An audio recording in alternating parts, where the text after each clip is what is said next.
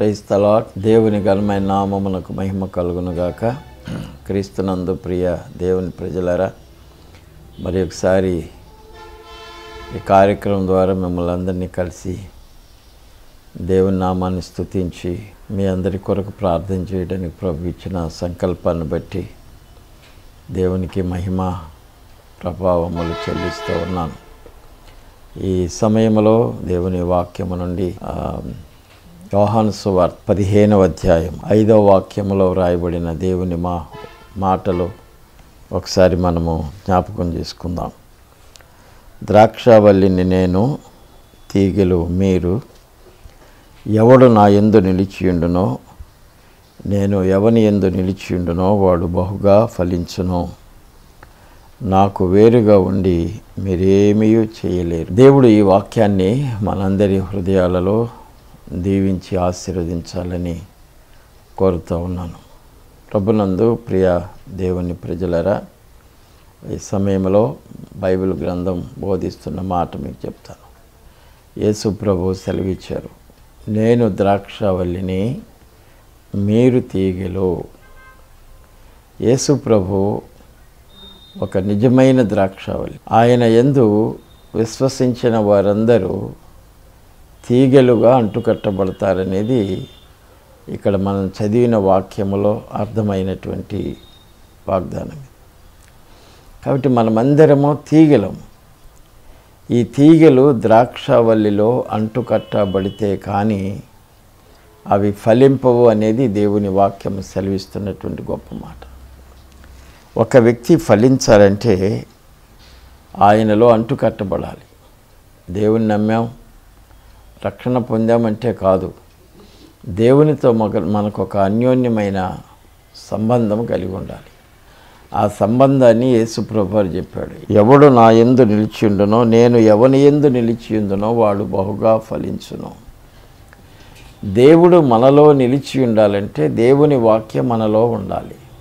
దేవుని మాటలు మనలో ఉండాలి.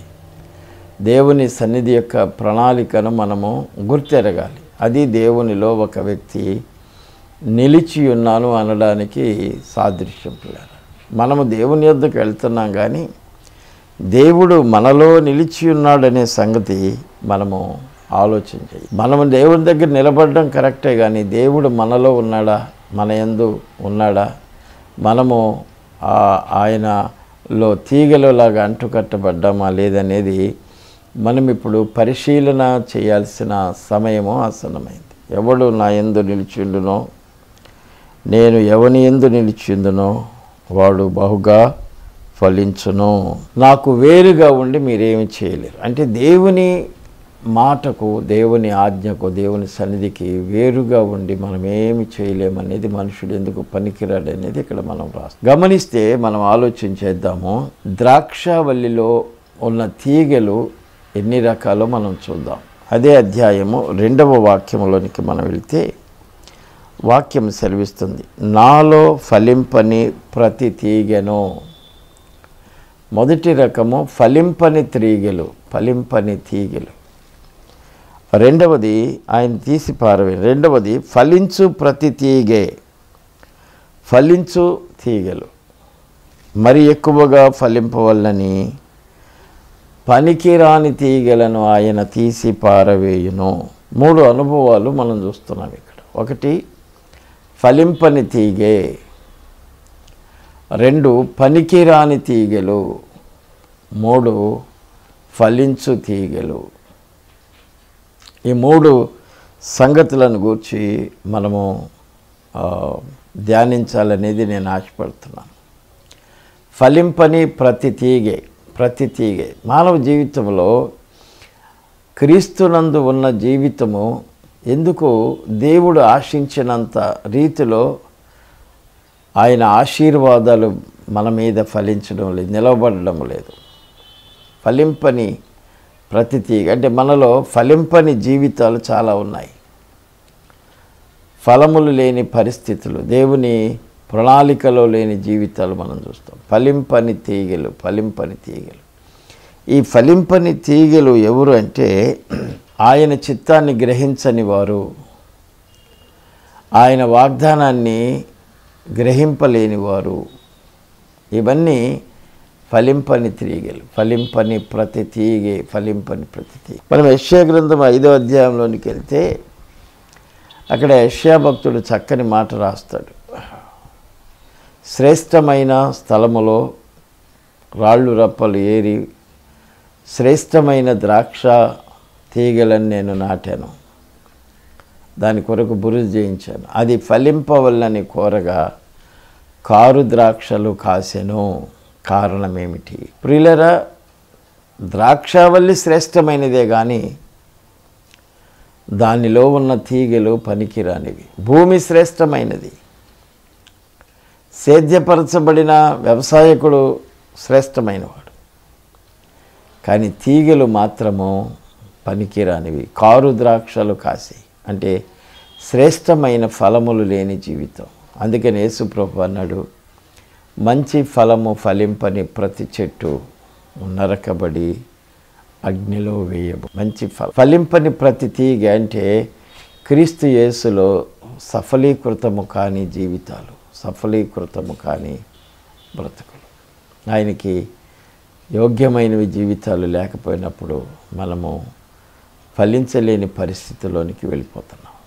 కానీ ఫలింపని ప్రతి తీగే ప్రతి తీగే దేవునికి అయిష్టమైనటువంటి ప్రతీది కూడా మనము తీసి పారేయాలి. లోపల ఉన్నవి. అనగా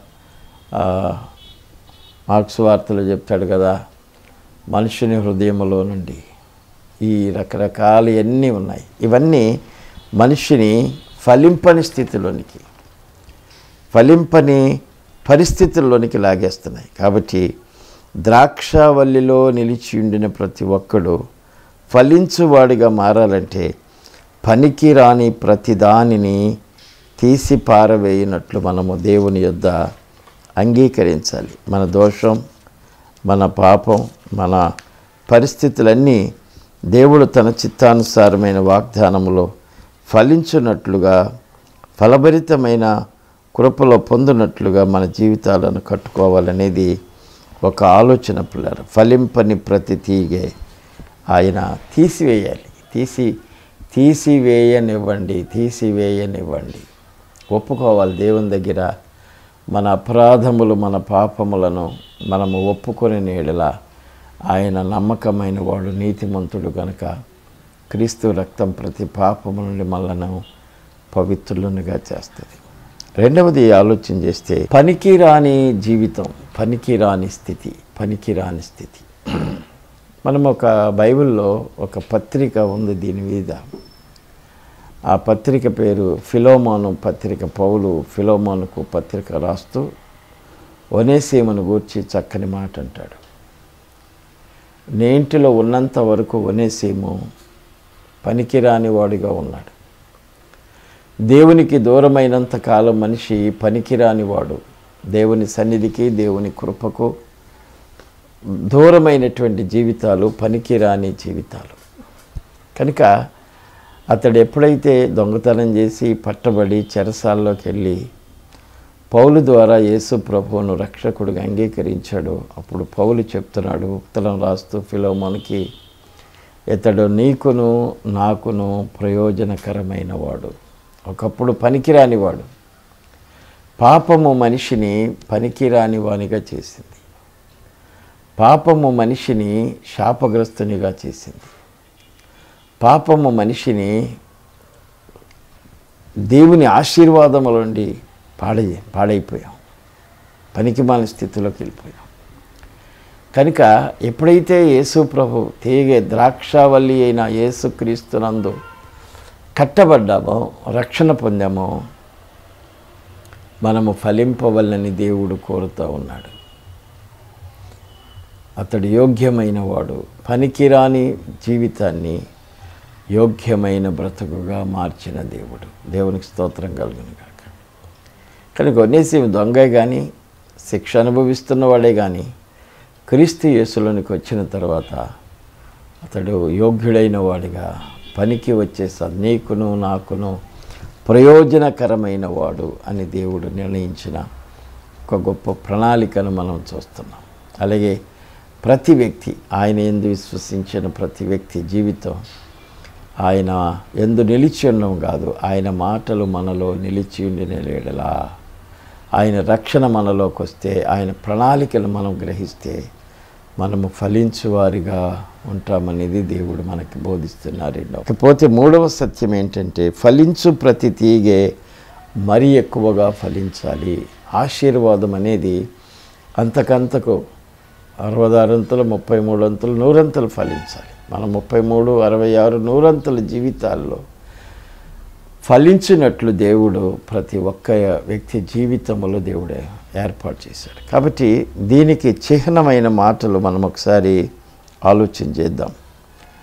దేవుడు తన ప్రణాళిక చొప్పున మన జీవితాలను ఏం చేశాడు అంటే తన ప్రణాళికలో మనం వాడుకున్నాడు. ఆరో వచ్చిన మనం చదువు నేను చదువుతున్నాను. ఎవడైనను నా ఎందు నిలిచి ఉండని ఎడల వాడు తీగె వలె బయట పారవేయబడి ఎండిపోవును. మనుషులట్టి వాటిని పోగు చేసి అగ్నిలో పారవేతురు అవి కాలి. క్రీస్తునందు ప్రియులారా ఆ రెండు ప్రత్యేకమైన విషయాలు మనం ఇందులో జ్ఞాపకం చేస్తాం. ఫలించు తిరిగే ప్రయోజనకరమైనగా ఉండునట్లు దేవుడు మూడు రకాలైన ఆశీర్వాదాన్ని దేవుడిచ్చాడు. అందులో మొదటిది ఏమిటంటే నిలిచి ఉండి ఫలించవలనని కోరుకున్న ప్రతి మనుష్యుడట మొదటి అనుబంధమైన మాట చెప్తున్నాను. ఎనిమిదో వాక్యం నేను చదువుతున్నాను. మీరు బహుగా ఫలించుట వలన నా తండ్రి మహిమపరచబడును. ఇందువలన మీరు నా శిష్యులగుదురు.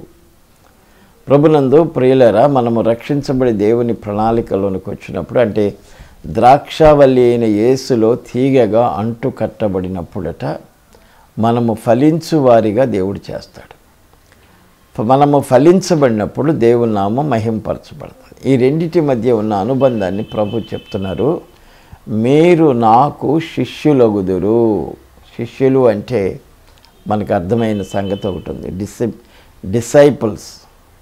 డిసైపుల్స్ అనే దానికి పర్యాయ పదం ఇంకోటి ఏంటంటే డిసిప్లిన్. ఒక క్రమశిక్షణలోనికి వచ్చాం. అంటుకట్టబడిన స్థానం అంటే క్రమశిక్షణ ఒక క్రమం. దేవుని ఆజ్ఞ దేవుని ప్రణాళిక దైవ చిత్తానుసారమైన వాగ్దానంలోకి మనం అవన్నీ వదిలిపెట్టి పనికిరాని స్థితిని స్థానాన్ని పరిస్థితులు స్థలాలు వదిలిపెట్టి దేవుని సంబంధమైన వాగ్దానంలోకి అంటుకట్టబడ్డాం కనుక మీరు డిసిప్లిన్ ఒక డిసైపుల్స్ మీరు మార్చబడిన వారు అంతకన్నా మంచి మాట ఏంటంటే తర్బీదు పొందినవారు దేవుని ప్రణాళికలోనికి మార్చబడి జీవిస్తున్నవారు.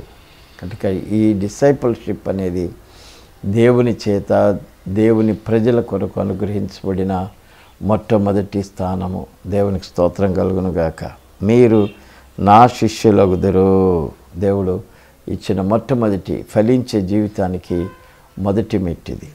ఇకపోతే రెండవ మెట్టుని ఆయన జ్ఞాపకం చేస్తున్నాడు. ఎక్కడంటే పద్నాలుగు వచ్చిన మనం చదివినప్పుడు యోహాన్ సువార్త పదిహేనవ అధ్యాయం పద్నాలుగు వచనం చదివినప్పుడు నేను మీకు ఆజ్ఞాపించు వాటిని చేసిన ఎడల మీరు నా స్నేహితులయ్యుందరు. మీకు నేను ఆజ్ఞాపించు వాటిని చేసిన ఎడల. ప్రభునందు ప్రిలరా నా స్నేహితులు ఏమిటి ఆజ్ఞాపించాడు అంటే దేవుడు ఒక వ్యక్తిని ఆశీర్వదించడానికి ముందు పనికిరాని దానిని నిష్ప్రయోజనమైన దానిని భ్రష్టమైన దాని నుండి మనల్ని బయటకు తీసుకొస్తాడు. అంటే పనికిరాని దానిని తీసివేస్తేనే కానీ దేవుని ఎందు నిలిచినది పనిచేసే స్థితిలోనికి దేవుడు మార్చడు. ఉదాహరణగా మనం చదువుతాం ఆది పన్నెండో అధ్యాయం మనం చదివినప్పుడు దేవుడు అబ్రాహ్మని పిలిచినప్పుడు అబ్రాహ్మతో అన్నాడు నీవు నీవు నా మాట విని నేను చెప్పినట్లు నీవు చేస్తే నీ దేశమును నీ స్వజనాన్ని నీ బంధువులని తండ్రి ఇంటి వారిని వదిలిపెట్టి నేను చూపించు దేశమునకు నీవు రాగలిగితే నా మాట నీవు వినగలిగినట్లయితే దేవుడు చెప్తున్నాడు నిన్ను అనేకులకు ఆశీర్వాదకరముగా చేస్తాను. అనేక జనములకు దీవెనకరమైన వానిగా చేస్తాను. నిన్ను ఆశీర్వదించు వారిని నేను ఆశీర్వదిస్తాను. నిన్ను శపించు వారిని నేను శపిస్తాను అన్నాడు దేవుడు. అబ్రాము అన్యుడై ఉండి దేవుని ఎరగని వాడై ఉండి ఆ ఒక్క మాట ప్రకారము దేవుని కొరకు బయలుదేరి వచ్చాడు దేవుడు అందుకే ఒక దినమున అన్నాడు అబ్రహామును నా స్నేహితుడైన అబ్రహాముకి చెప్పకుండా నేనేమైనా చేయుదును? అన్నాడు. అంటే దేవుడు అబ్రహాముని పిలవడమే కాదు ఆశీర్వదించడమే కాదు. దేవుడు అంటున్నాడు నా స్నేహితుడైన అబ్రహాము ఒక విశ్వాసి దేవుని సన్నిధిలో నమ్మకత్వము కలిగినప్పుడు దేవుని మాట లోబడినప్పుడు దేవుడు అంటున్నాడు మీరు నాకు స్నేహితులగుతారు దేవునికి స్తోత్రం. అబ్రహాము విశ్వాసులకు తండ్రి దేవునికి స్నేహితుడు. అబ్రహామునందు మనందరినీ దేవుడు తన కుమారుని వాగ్దానానికి వారసులుగా కట్టి స్నేహితునికి స్నేహితునికి మధ్య అరమరికలు ఉండవు గనక దేవుని సన్నిధి యొక్క ప్రణాళిక దైవ చిత్తానుసారమైన వాగ్దానంలోకి మార్చబడాలంటే మీరు నా ఆజ్ఞలను అనుసరించి నడిచినేడిలా అబ్రహాము దేవుని క్రమం దేవుని సన్నిధి దేవుని ప్రణాళికను ప్రతి దినము దేవుని చిత్తాన్ని ఎరిగి జీవించాడు గనక దేవునికి స్నేహితుడయ్యాడు. మనం కూడా ఆయన ఆజ్ఞలను అనుసరించి క్రమాన్ని అనుసరించి నడిచినప్పుడు దేవుడు మన పక్షంగా తన కార్యాలు చేస్తాడు. ఇది రెండవది. మొదటిది శిష్యులుగా మారుతారు. ఆయన క్రమశిక్షణలోనికి మారుతాం. రెండవది మీరు నాకు స్నేహితులుగా ఉంటారు. దేవునికి మనకి మధ్య అరమరికలు లేని అనుబంధాన్ని దేవుడు సిద్ధపరుచు ఈ ద్రాక్షావల్లికి తీగలుకున్న సంబంధ బాంధవ్యం. మూడవదిగా మనం ఆలోచన చేస్తే అదే అధ్యాయము చివరి వచనములో దేవుని మాట ఇలాగ వ్రాయబడింది మీరు నన్ను ఏర్పరచుకొనలేదు. మీరు మొదట నుండి నా యొద్ద ఉన్నవారు కనుక మీరును సాక్ష్యమిత్తురు. మళ్ళా దేవుని వాక్యము జ్ఞాపకం చేసుకుందాం. తండ్రి యొద్ద నుండి మీ యొద్దకు నేను పంపబో ఆదరణకర్తనగా తండ్రి యొద్ద నుండి బయలుదేరు సత్యస్వరూపి అయిన ఆత్మ వచ్చినప్పుడు ఆయన నన్ను గూర్చి సాక్ష్యం ఇచ్చును మీరు మొదట నుండి నా యొద్ద ఉన్నవారు గనుక మీరును సాక్ష్యం ఇస్తారు మూడవది అన్బ అంటున్నాడు ఆయన తీగె ద్రాక్షవల్లిలో నిలిచి ఉన్నప్పుడు సాక్ష్యమిచ్చు క్రైస్తవులు సాక్ష్యమిచ్చు విశ్వాసులు సాక్ష్యమిచ్చు బిడ్డలుగా దేవుడు మాట్లాడుతూ ఉన్నాడు. దేవుని సంపూర్ణత కలిగిన వాగ్దానాన్ని దేవుడు అనుగ్రహిస్తూ ఉన్నాడు. పిల్లలు గమనించండి. ఒకటి శిష్యులు రెండు స్నేహితులు మూడు సాక్ష్యమిచ్చువారు. ఫలించు ప్రతి తీగే సాక్ష్యం ఇవ్వాలి స్నేహితులు దేవునితో స్నేహ సంబంధమైన బంధుత్వము కలిగి ఉండాలి. దేవునికి శిష్యరికపు ఆ హక్కులోనికి మనము మార్చబడాలి. ఇది ఫలించు ప్రతి తీగ. ద్రాక్షవల్లిలో నిలిచి ఉండిన ప్రతి తీగను గూర్చి దేవుడు రాస్తూ ఉన్నాడు. ఒకవేళ ద్రాక్షవల్లిలో ఉన్నాము అని ఫలింపని తీగలుగా మనము ఉంటే ఫలింపని తీగలను గురించి బైబిల్ గ్రంథం మనకు బోధిస్తుంది. ఇప్పుడు ఏడవ వచనంలోకి వెళ్దాం. ఎవడైనను నా ఎందు నిలిచి ఉండని ఏడలా ఎవడైనను నా ఎందు నిలిచి ఉండంటే నా ఆజ్ఞలను గైకొనని ఏడలా నా నా నిబంధన నా మాట గైకొనని ఏడలా మీరు నా పిలుపును లోబడని ఏడలా అని అర్థం. అంటే వీళ్ళు ద్రాక్షవల్లిలో ద్రాక్షావల్లిలో నిలబడిన వారనమాట ఆయన ఆజ్ఞల చొప్పున ఆయన క్రమము చొప్పున ఆయన చిత్తాన్ని ఎరగని పరిస్థితుల్లో దేవుని ప్రణాళికను గ్రహించని వారు ఎలా ఉన్న నిలిచి ఉండని ఎడలా వాడు నిలిచి ఉండని ఎడలా వాడు తీగవలే బయట పారవేయబడి తీగవలే బయట పారవేయబడి ఎండిపోవును. మనుషులు అటు వాటిని పోగు చేసి అగ్నిలో పారవేతురు. ప్రభునందు ప్రియులరా ఇక్కడ కూడా మూడు మాటలు మనము జ్ఞాపకం చేస్తున్నాం. ద్రాక్షవల్లిలో అంటు కట్టబడని ప్రతి ఒక్కడు ప్రతి తీగె ప్రతి జీవితం ఏమవుతుందట?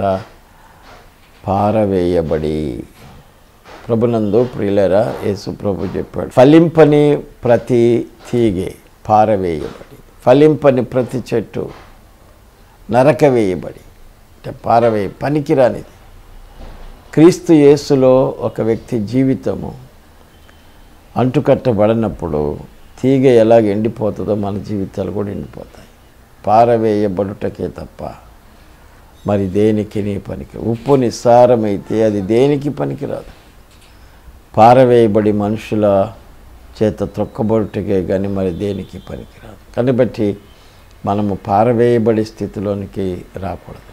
పారవేయబడి తర్వాత ఎండిపోయి రెండవది ఒకటి పారవేయబడి రెండు ఎండిపోయి ఎండిపోయిన తర్వాత మూడవది ఏమవుతుందంటే అగ్నిలోనికి వేయబడును అగ్నిలోనికి వేయబడును. అంటే కాల్చబడును.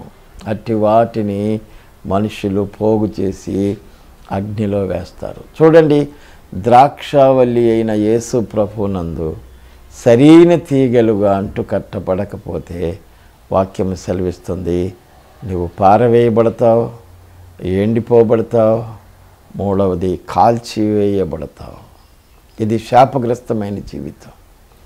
ఇది ఒక తీగ ఒక చెట్టు కొమ్మను ఉదాహరణగా పెట్టి దేవుడు మనకు మాట్లాడు కానీ యేసుక్రీస్తునందు ఉన్నవాడు ఎలా ఉంటాడట ఆకు వాడక తన కాలమందు ఫలమిచ్చు చెట్టు వలె ఉంటాడు. ఫలించు జీవితాలు. మరి ఎక్కువగా ఫలించాలి. ఫలభరితం అంటే ఆస్తుల ఐశ్వర్యాలు కాదు. ఇక్కడ వాక్యం సెలవిస్తుంది నాకు శిష్యులుగా ఉంటారు నాకు స్నేహితులుగా ఉంటారు నాకు సాక్ష్యమిచ్చువారుగా ఉంటారు. అంటే మన విశ్వాసం యేసుక్రీస్తునందు స్థిరపరచబడినప్పుడు మనం శిష్యరికంగా ఉండ మారాలి. తర్వాత దేవునికి సన్నిహితమైన స్నేహితులుగా మారాలి. దేవుని ప్రణాళికలో మనము సాక్ష్యమిచ్చు జీవితాలుగా మారాలి. అది క్రీస్తు శిలువ రక్షణ ప్రణాళిక మనల్ని ఏం చేసిందంటే ఆయనకు దగ్గరగా తీసుకుంది. ఆయనకు సమీపస్తులుగా చేసింది. పాపం వలన దూరపరచబడిన మానవ జీవితాన్ని ప్రభు తన దయా సంకల్పం యొక్క కృపతో మళ్ళని బ్రతికించి శిలువ రక్తముతో మళ్ళను కడిగి ఆయన చిందించిన ఆ- రక్తము ద్వారా మన పాప విమోచన కలుగు చేసి మన ప్రాణ విమోచన క్రైదనము దేవుడు మనకిచ్చాడు. అంటే ఆయన ఎందు అంటు కట్టబడాలి. పూర్వం మీరు దూరస్తులు పూర్వం మీరు పనికిమాలిన చీకట్లో ఉన్నవారు ఇప్పుడైతే క్రీస్తు రక్తం వలన క్రీస్తు కృప వరకు మీరు సమీపస్తులుగా ఉన్నారు. దేవుడు మళ్ళని దగ్గరకు తీసుకున్నాడు. అబ్రహామును ఆశీర్వదించినట్లు మనల్ని ఆశీర్వదించి అబ్రహామును దీవించినట్లు మనల్ని దీవించడానికి అబ్రహాం యొక్క సంకల్పము దేవుని జీ దేవుని యొక్క ప్రణాళికలు అబ్రహాం జీవితం ఎలాగ ఆశించబడిందో మనమందరము కూడా కడవరి దినాలలో ఫలించి ఆశీర్వదించబడి దేవుని ప్రణాళికలో దైవ చిత్తానుసారమైన కృపలోనికి దేవుడు మళ్ళని మార్చాలని దేవుని యందు మిమ్మల్ని అందరినీ కోరుకుంటూ ఉన్నాను. దేవుడు తన పరిశుద్ధ మాటలు మన హృదయాలలో దీవించి ఆశీర్వదించునుగాక ఆమెన్. చిన్న ప్రార్థన చేద్దాం. ప్రేమగల మా తండ్రి మరి ఒకసారి నీ సన్నిధిలో ప్రార్థన చేస్తున్నాం. నీవు ద్రాక్ష వెళ్ళివి మేము తీగలు. ఎవడు నీ ఎందు నిలిచిండునో నీ మాటలు ఎవరిలో ఫలించునో వాడు ఫలిస్తాడని చెప్పావు.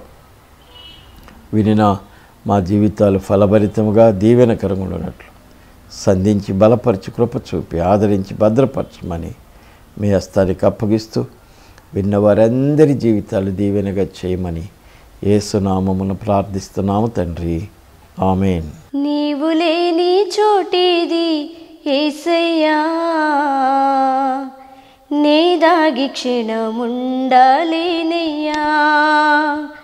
నీవు చూడని స్థలమేది ఏసయ్యా కనుమరుగై నేనుండాలేనయ్యా. నీవు వినని మనవేది ఏసయ్యా నీవు తీర్చని బాధ ఏది ఏసయా నీవు వినని మనవేది ఏసయా నీవు తీర్చని బాధ ఏది ఏసయా నీవుంటే నా వెంట అది ఏ చాలయ్యా? నీవుంటే నా వెంట అది ఏ చాలయ్యా? నీ ఉంటే నా వెంట. అది ఏ చాలయ్యా? నీ ఉంటే నా వెంట. అది ఏ చాలయ్యా? నీవు లేని చోటేది ఏసయ్యా. నీ దాగి క్షణముండాలేనయ్యా. నీవు చూడని స్థలమేది ఏసయ్యా. కనుమరుగై నేనుండాలేనయ్యా. కయ్యూను క్రూర పగకు బలి అయిన హేబేలు రక్తము పెట్టిన కేక విన్న దేవుడవు అన్నల ఉమ్మడి కుట్రకు గురి అయిన యోసేపు మరణ ఘోషగోతి నుండి విన్న దేవుడవు. కయ్యూను క్రూర పగకు బలి అయిన హేబేలు రక్తము పెట్టిన కేక విన్న దేవుడవు. అన్నల ఉమ్మడి కుట్రకు గురి అయిన యోసేపు మరణ ఘోషగోతి నుండి విన్న దేవుడవు. చెవియొగ్గి నా మొరను ఏసయ్యా నీవు వినకుంటే నీ బ్రతుకలేనయ్యా చెవియొగ్గి నా మొరను ఏసయ్యా నీవు వినకుంటే నీ బ్రతుకలేనయ్యా నీ ఉంటే నా వెంట అది ఏ చాలయ్యా. నీ ఉంటే నా వెంట అదే చాలయ్యా. నీ ఉంటే నా వెంట అదే చాలయ్యా. నీ ఉంటే నా వెంట అదే ఏ చాలయ్యా. నీవు లేని చోటేది ఏసయ్యా. నీ దాగి క్షణముండాలేనయ్యా. నీవు చూడని స్థలమేది ఏసయ్యా. కనుమరుగై నేనుండాలేనయ్యా. సౌలు ఇటి దాటికి గురి అయిన దావీదు ప్రాణమును కాపాడి రక్షించిన దేవుడవు. సైతాను పన్నిన కీడుకు మొత్తబడిన యోబును. గెలిపించి దీవెనలు కురిపించిన దేవుడవు. సౌలు ఇటి దాటికి గురి అయిన దావీదు. ప్రాణమును కాపాడి రక్షించిన దేవుడవు. సైతాను పన్నిన కీడుకు మొత్తబడిన యోబును. గెలిపించి దీవెనలు కురిపించిన దేవుడవు నీ తోడు నీ నీడా. ఏసయ్యా నాకు లేకుంటే నే జీవించలే.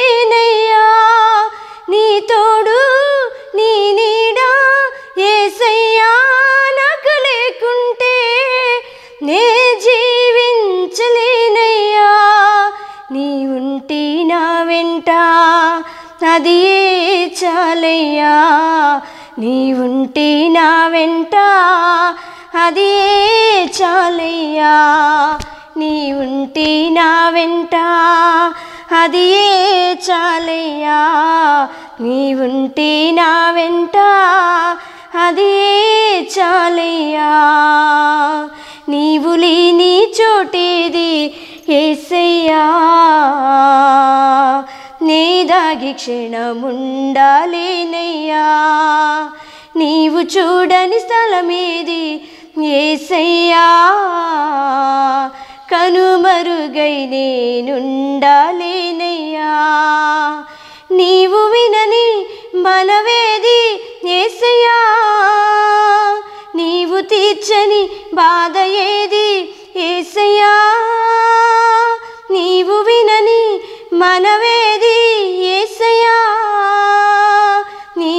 తీర్చని బాధ ఏది ఏసయ్యా? నీవుంటి నా వెంట నది ఏ చాలయ్యా? నీవుంటే నా వెంట నది ఏ చాలయ్యా? నీవుంటే నా వెంట నది ఏ చాలయ్యా? నీవుంటే నా వెంట నదియే చాలయ్యా